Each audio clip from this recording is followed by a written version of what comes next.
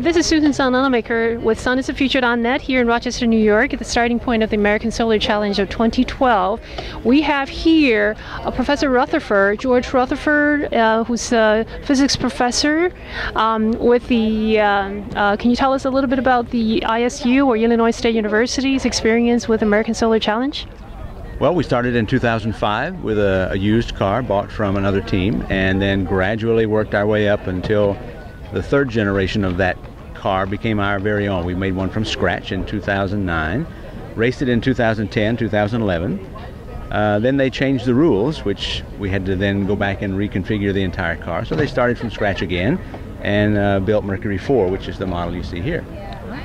Okay. Uh, can you tell us the rule change that happened? The rule change was they reduced the uh, area of photocells you could have and they also changed the amount of batteries of the different varieties you could have, the weight of batteries you could have, uh, essentially to make it more competitive uh, so that uh, money didn't necessarily always win the day. Uh, that's important, isn't it? Because when you think of uh, when we were at uh, World Solar Challenge last year, the, um, there were some cars that spent two and a half million, and that's a very different uh, type of uh, race, is, isn't it? It's a very uh, a different pond to be in. this one, we have counting donations in kind about forty thousand. So very good. We're very frugal about all our purchasing. Well, that's what we want to see. You know, less expenses. And uh, as a matter of fact, this way, all teams will be more on the similar playing field. So that well, ours tends to be more robust typically. Uh, if we can get the bugs worked out of it, of course, that's every engineer's nightmare, getting the bugs out. But once we get the bugs out, it tends to be fairly reliable. It's not the fastest car on the track but it tends to get out there and stay out there once we get it running. Oh, very good. And you are charging, I see, right? That's right, now. Uh, they're also uh, not only charging, but they're they think there might be a, a, funny connection somewhere in one of the subarrays, so they're under there trying to, to pin it down so that we can see if it's a bad solder joint or if there's a cell that's gone bad we need to replace. Is there any restriction on number of hours you are all allowed to charge, or is uh, this is very flexible? Once the race starts, yes, uh, you can do anything you want to up until now. And when the race starts tomorrow morning, actually they will uh, probably impound our batteries tonight. Then once the race starts, you're allowed to charge for two hours in the morning, two hours in the evening, and then of course during the race you can charge.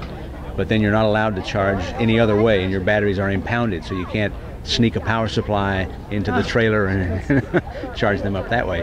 So from now on, we'll just be getting two hours of free charge in the morning and the evening, and then all day while on the road. How much power do you think you can get in two hours? Well, uh, it kind of depends on how far we've run the pack down, uh, but usually the two hours in the morning and the evening are enough if you've had decent sun during the day to get you back up to a reasonable charge in the battery so you can run the next day.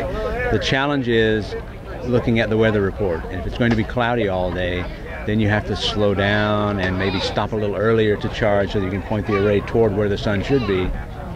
And managing the energy budget becomes more critical on a cloudy day. Would you say there are about 40% of uh, new members or old members on your team? This team has uh, about 40% are old members and the rest are new members. So it's mostly new uh, new members as a lot of teams. Okay. Varies so quite a bit. We are uh, not centered in one department. We're a university-wide team.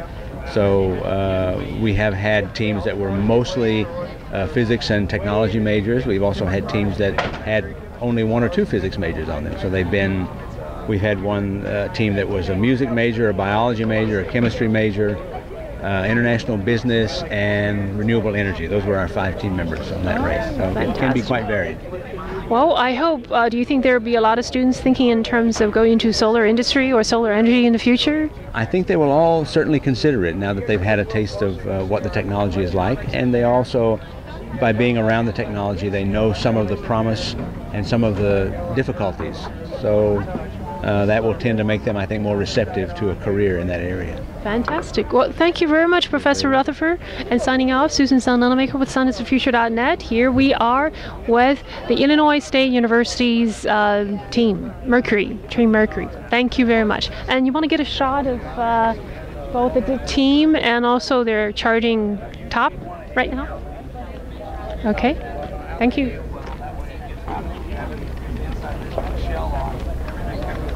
Signing off, Susan Sun, Nunamaker with sunisthefuture.net.